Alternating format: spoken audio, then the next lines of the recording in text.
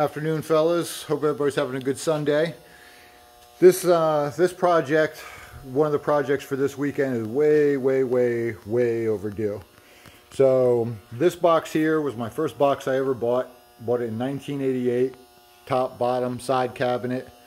Um, bought it because I was in the car audio business for a long time, and and it was a great box. It held all my stuff. But the years go on and you accumulate and you buy and you need and we all know how it goes. This drawer um, wasn't originally my socket drawer. I don't even remember which one was, maybe the one under it, but it's the largest drawer in the box. And it is completely maxed out.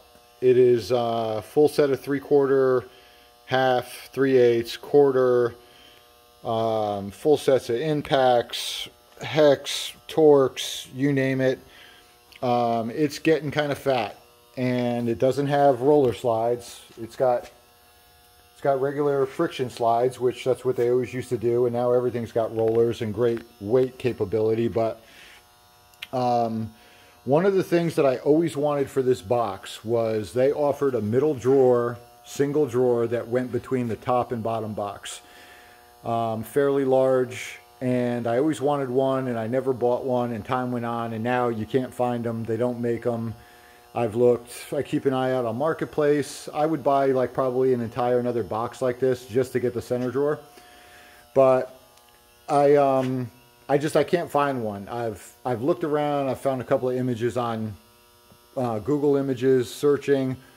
No one's got one. They're just they're just non-existent. I don't think they made a lot of them to begin with and uh, but I've got to do something. So could I go out and buy a two bay? Sure. Could I go out and buy a three bay? Sure.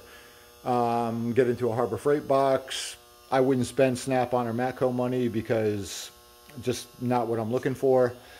Um, and I'm not against the Harbor Freight money, but the shop is pretty maxed out, and I don't want to buy an entire box just for needing really one drawer. Um, so this weekend's project was basically time to make my own. So basically this was the one of the projects for today. And I, I made a framework out of one inch box, 11 gauge. And that's going to be the framework between the top and bottom box. And like I said, it's made out of all one inch uh, tube. And then I had inch and a half angle iron, which I, I thinned out one side to to one inch. And it gives me an inch and a half flat on the inside. And picked up some roller slides. One for each side. So basically what I'm going to do is I'm going to build my own. I built the framework and the slides were like 12 bucks at Lowe's. Um, going to get those done and then this piece of material that's on the bench is a sheet of 14 gauge and I'm going to lay that out and bend it and weld it up and make a drawer that's a dedicated socket drawer.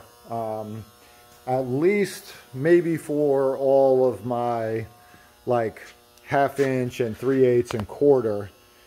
Um, and then I'll leave all the impact and the heavier stuff and the three quarter sockets in this drawer.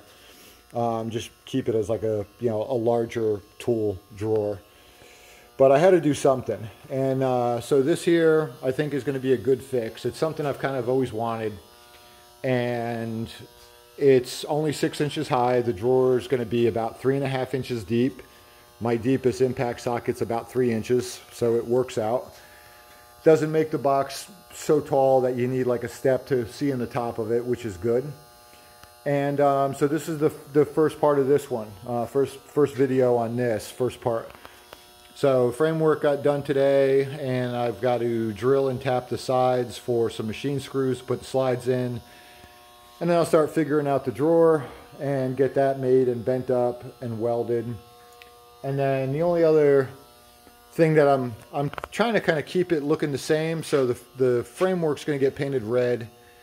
Um, probably like just Rust-Oleum rattle can, a darker red because this box is 30 years old and kind of faded. Um, and then some sort of dark gray for the drawer front. And these here handles, I don't know exactly I could probably copy them if I really wanted to. I'm not going to put the, the detail in it, um, the little bump out, if you can see at the bottom. But probably what I'll do is I'll just put a, I'm probably going to make a, a handle for it out of a piece of three quarter angle facing down because that's probably pretty close to how wide that aluminum is. And, um, and then I'll just paint it silver. So basically from a distance, it'll look really close and it'll work. I'm not, you know, super worried about it matching 100%. Um, I even thought about just spraying it all black and being done with it, but I'll try to get it close and kind of make it look like it's always been there. So I think it's going to work out really well. Like I said, this is part one. Once I get the, uh, the drawer slides done and the drawer made up, um, I'll probably do a video on that.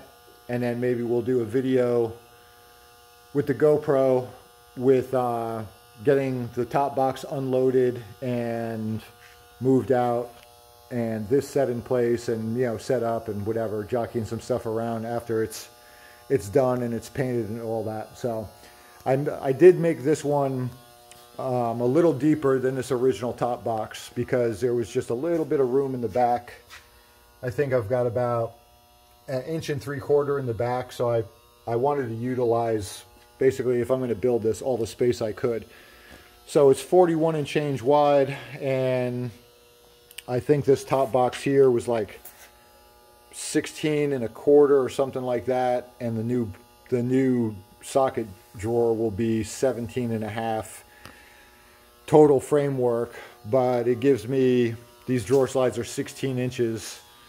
And um, so I should have a, a pretty good sized drawer for the, uh, you know, fitting all this stuff. And of course, I'll end up buying some other stuff and putting it in there, and it'll end up getting filled. And once that's filled, that's probably what will push me into like a 72 or, or, or an 84. Um, we need to extend the shop and make some room and I wouldn't be against buying a large box right now if I had the room for it, but I've got to keep some fab space, keep some room. Banshee's in the shop, getting ready to get freshened up. That's been tucked away for about five years. And um, we're just maxed out on room. Just, I don't know.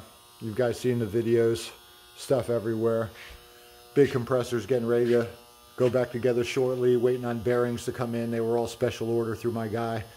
So waiting on those parts to come in and this week got some regular work to handle and then going to get back into the the Jimmy and uh, start getting some more metal work done on it. So things are moving along. Things are moving along. Video on this hopper for a sandblast attachment for a pressure washer. That video is out. Banshee video is out. This video is about to be out. And guess who else is out? Huh, Fresh one. And I'm out.